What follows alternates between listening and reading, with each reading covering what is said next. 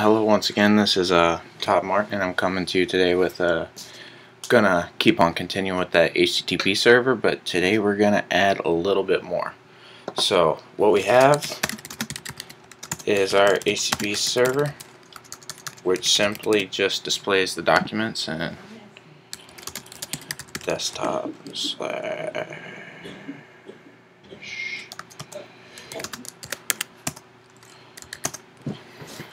Gonna run it real quick. Webserve.py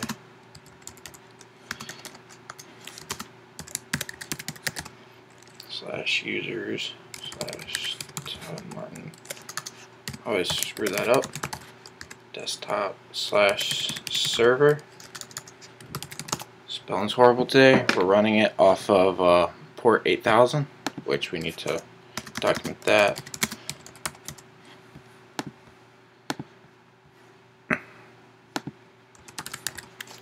Go to our local host. Here's the files. And we haven't done the HTML parsing, which I'll probably get to a little bit later down the road. But uh, the plan for today is to do uh, FTP. FTP stands for File Transfer Protocol. It's simply just a way to transfer a, a file from your computer to a server uh, mostly used with uh, root. Oh, um, mostly used with a remote connection.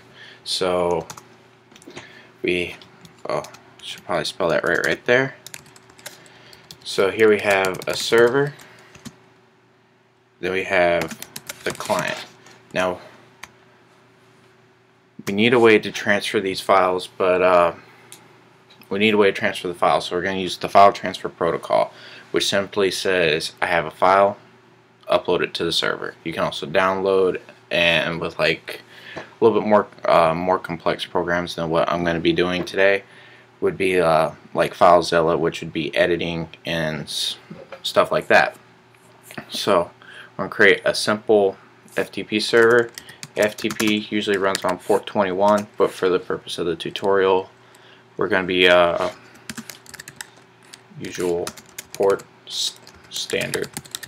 But for the tutorial, I'm going to be running off of port 8080 today. So let's get started. Um, remember, I'm using Python 2.7, so if you have Python 3, anything like that, um, this it may not exactly work like it's supposed to. First thing I need to go over is the library I am going to be using today. Be Python FTPD lib hosted by Google. It's just uh, makes it a whole lot simpler. This doesn't come standard with Python, or at least with my version of Python it didn't. You just go to download, you save the file, then you go uh, into our little arc well for me it's Finder. Um, find it real quick which will be right here. You unarchive it which will give you this folder right here. Then you'll want to open up your terminal. Let's change directory to users. Todd Martin slash downloads.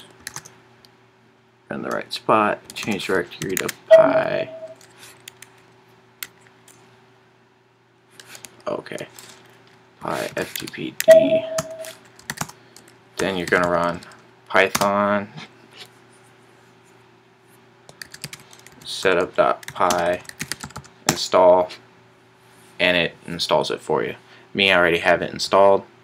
To double check it go to your python shell help with parentheses modules. This usually takes a few minutes but it should be listed in there. So while that's listing, we're going to go ahead and start. Alright, we're going to do from pi ftp lib import ftp server.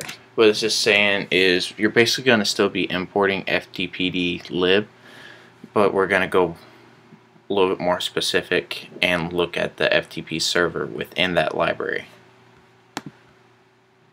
see if it's somewhere in there. But we don't need that window. Yeah, kill it. So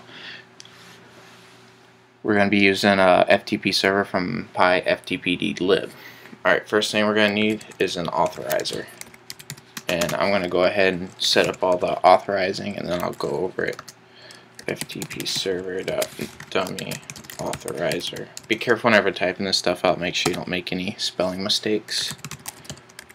Authorizer dot add underscore user. Let's go with Todd. One, two, three. And slash user slash Todd Martin slash desktop server. Is it Anonymous. We'll just set the directory.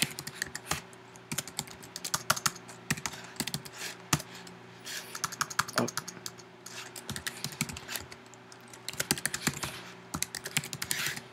Hope I spelled all that right.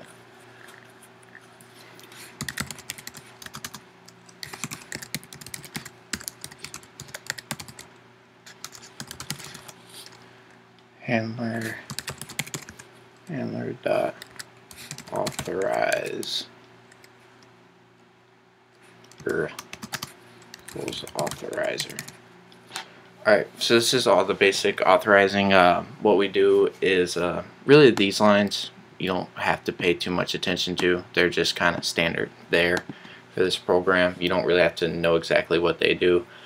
But right here is the golden spot right here that you need to understand authorizer.add user so we're adding a user to the FTP server um, and our user is going to be Todd with the password of 123 and whenever somebody logs in to the server using Todd 123 it's going to automatically open up the uh, directory of users Todd Martin desktop server and we also have another authorizer which is going to be anonymous which means if they don't provide specific login credentials it's still going to go to users Todd Martin desktop server. It's still going to open that up. But we're not really going to be concerned today with the whole login in. The idea is just to set the server up and get the client going just to kind of show you everything going on.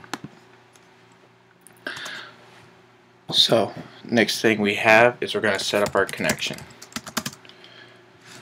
so we are going to connect to localhost, which is going to, that's just going to be the host name. And then this next part is going to be the port. Now, I'm going to use 880.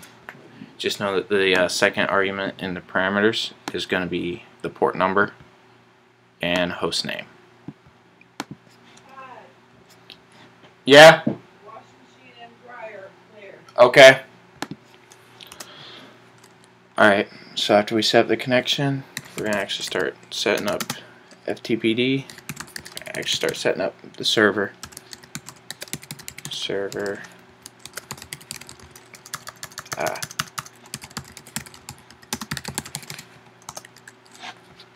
Alright, what this says is we're going to start a variable called FTB. It's going to equal FTP server.ftp server and uh, the parameter is just going to take its connection which is going to be equal to localhost in 8080 and we have the handler. This handler here is going to point back to the authorizer.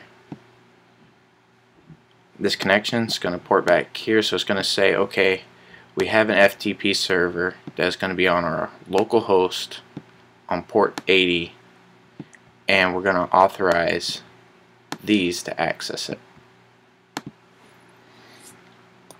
and then of course FTB serve underscore forever which just means it keeps on constantly going. So I'm just gonna save this code. Um, desktop. Development blog.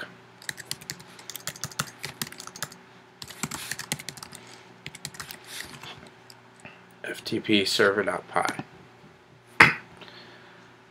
and let's see if we can run it real quick.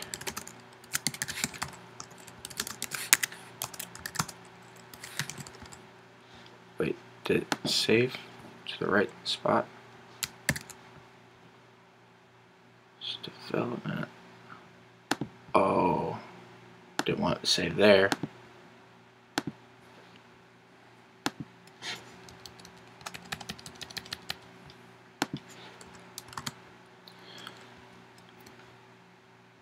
Save here. Alright. Open it back up. Double check it's in there. Python FTP server dot py has no dummy authorizer has no attributes uh oh I think I left something out